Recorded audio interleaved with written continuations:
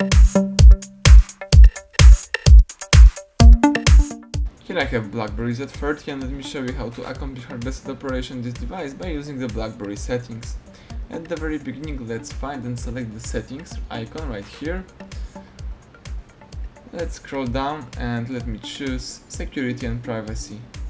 Then let's select the security wipe right here here you can read all important information about the security wipe.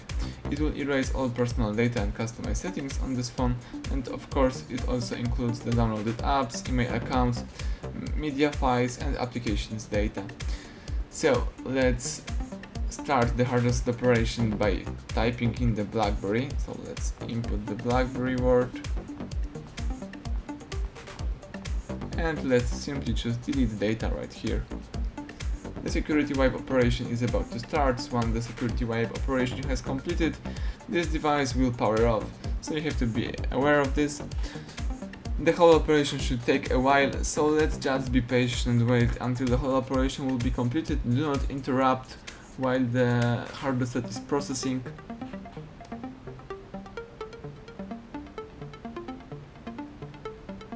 Now the device is restarting and rebooting, the phone is erasing all personal stuff and customized settings. Let's wait a few seconds.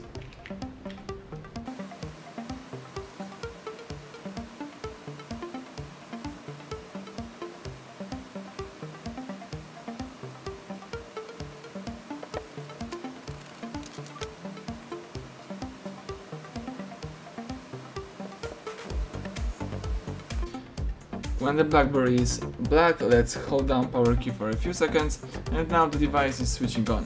It may take a little bit longer than usual one, so let's just be patient wait until the welcome panel just pops up on the screen. It should take about a few minutes